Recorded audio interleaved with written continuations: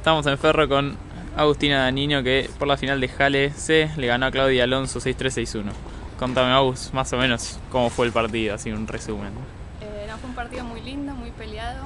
Eh, la verdad que el puntaje no refleja lo duro que fue, porque Claudia me hizo correr muchísimo y tiene muy buenos golpes y mejoró mucho desde la última vez que jugamos también. Eh, eso. Muy parejo.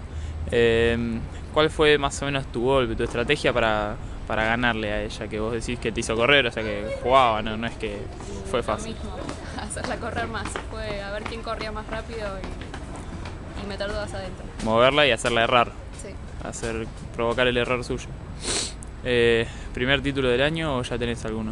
Eh, primero, la primera vez que ganó una final.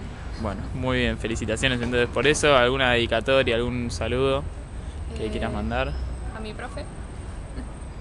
Eso solo. Nadie más. Listo, bueno, Agus, de vuelta, felicitaciones y esperamos seguir viéndote por acá en alguna otra final también que llegues. Gracias. Hasta luego.